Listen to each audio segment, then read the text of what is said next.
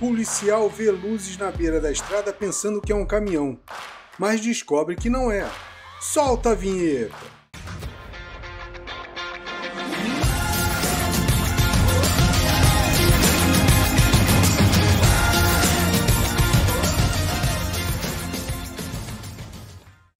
Já se inscreveu, deixou o like? Não deixe de dar o like que só assim o YouTube recomenda meus vídeos para mais pessoas.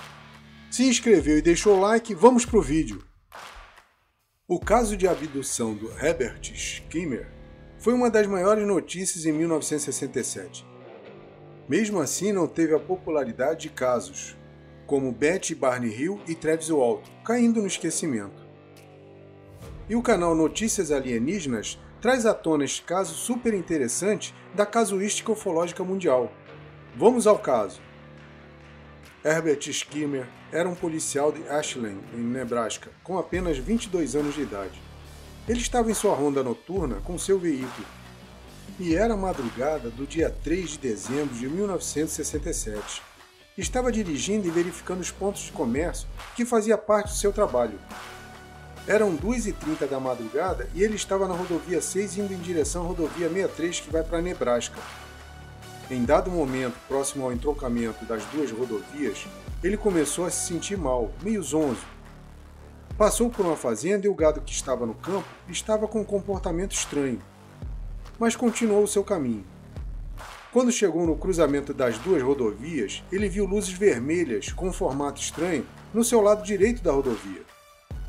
Supondo que fosse um caminhão, foi até lá para averiguar. Quando chegou a mais ou menos 12 metros de distância, ligou o holofote e viu que não era um caminhão, mas sim um OVNI pairando acima do solo.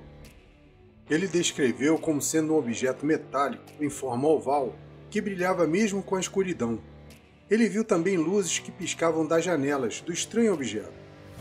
O seu tamanho era aproximadamente de 6 metros de comprimento, por uns 4,5 de altura.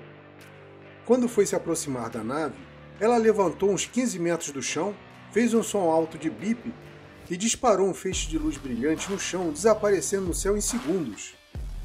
Skimmer retornou para a delegacia e foi aí que ele percebeu a diferença de tempo.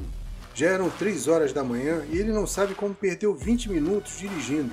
Ou seja, era para estar na delegacia às 2h40 e não às 3 horas. Na delegacia, ele fez um relatório dizendo o seguinte: Às 2h30 da madrugada, do dia 3 de dezembro de 1967, vi um OVNI na junção da rodovia 6 com a rodovia 63. Acredite ou não. Herbert voltou para sua residência, só que não conseguia dormir. Estava com uma forte dor de cabeça. Levantou e foi até o banheiro e viu no espelho uma marca vermelha em seu pescoço, indo até a base da orelha esquerda.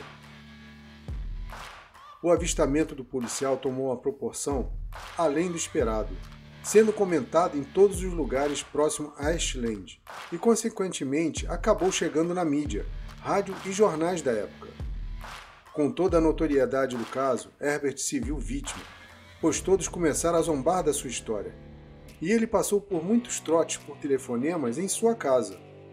Herbert tentava de toda maneira lembrar o que tinha ocorrido naqueles 20 minutos perdidos foi então que em 1968 ele fez uma hipnose com um psicólogo da Universidade do Wyoming, o Dr. Leo Spinkle. Um comitê foi formado para dar o parecer depois da hipnose. Este comitê era da Universidade do Colorado e foi patrocinado pela Força Aérea dos Estados Unidos. Com esta hipnose, Skinner conseguiu se lembrar do ocorrido naqueles 20 minutos.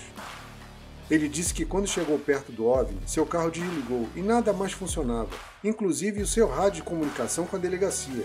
Ficou mudo. Em seguida, ele viu algo surgir através de uma luz forte muito branca. Era um ser humanoide vindo em sua direção. O ser catucou Herbert com um dispositivo desconhecido e ele tentou pegar sua arma, mas não conseguiu. O tripulante do OVNI então indagou ao policial: O senhor é o vigia desta cidade? Herbert respondeu que sim. O ser então levou ele para dentro do OVNI e lá Herbert disse que era cheio de luzes coloridas e brilhantes e vários instrumentos que ele não conhecia. Herbert também teve contato com outros tripulantes dentro do OVNI e que todos pareciam amigáveis. Os seres disseram que existem muitos OVNIs que entram e saem da nossa atmosfera e que eles possuíam várias bases em nosso planeta. Tentaram explicar como o OVNI voava, dizendo que usava energia do planeta e utilizava um sistema reverso de eletromagnetismo e que eles estavam aqui para proteger o planeta. O comitê que patrocinou a hipnose descartou e deu o parecer negativo sobre a veracidade do relato do policial. Somente o psicólogo acreditava em Herbert Skinner. Mesmo com um parecer negativo, a sua história continuou sendo manchete em várias revistas, jornais e rádios. Com a pressão em cima de Herbert, ele se mudou de Ashland, se afastando totalmente do caso. Ele se isolou e não quis mais falar do assunto. Herbert Skinner faleceu em 2017. Em sua homenagem, o cartunista Michael Jassorka publicou um livro em forma de novela sobre o seu caso e fez o lançamento em Los Angeles no ano de 2011. Este é mais um caso que eu tenho certeza que você não conhecia. Me dá uma força e enche o vídeo de like. Ah, não se esqueça de se inscrever no canal.